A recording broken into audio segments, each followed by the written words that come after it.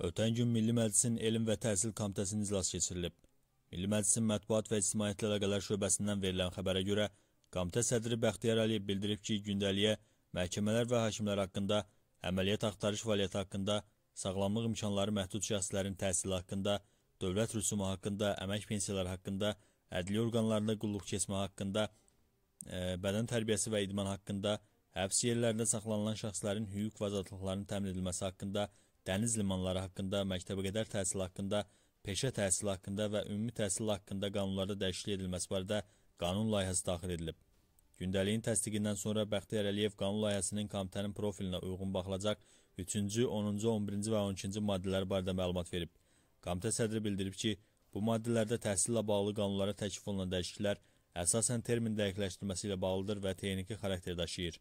Dəyişikliklərdə nitq qüsuru, kar, kör, əqli cəhətdən geri qalanlar kimi anlayışların müvafiq olaraq nitq pozuntusu, eşitmə qabiliyyətinin tam məhdud olanlar, görmə qabiliyyəti tam məhdud olanlar, əqli geriliyi olanlar sözləri ilə əvəzlənməsi təklif edilib. Azərbaycanda həyata keçirilən sağlamlıq imkanları məhdud şəxslər üçün inklüziv təhsilin inkişafı istiqamətində həyata keçirilən dövlət siyasətindən, yaradılan qanunvericilik bazasından söhbət açan komitə sədri müzakirəyə çıxarılan qanun layihəsinin əlilliyi olan şəxslərin hüquqlarının xüsusən onların təhsil hüquqlarının müdafiəsinə yönəldiyini bildirib.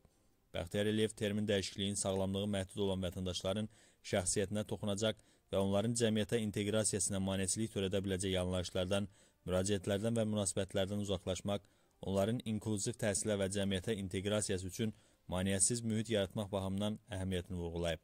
Qanun layihəsinin müzakirəsində Elm və Təhsil Komitəsi sədrinin müavini Musa Qasımlı, komitə üzvləri Eldar Quliyev, İsa Həbbəyli, Aqiyə Naxçıvanlı, Etibar Əliyev, Kamil Əliyevə, Pərvin Kərimzadə, Anar İskəndərov, Müşfiq Məmmədli çıxış ediblər.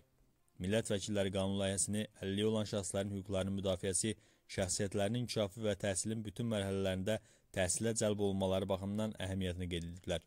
Müzakirələrin sonunda millət vəkilləri qanun layihəsinə baxılmaq üçün Milli Məclisin plenar iclasına müzakirəsinə tövsiyə ediblər.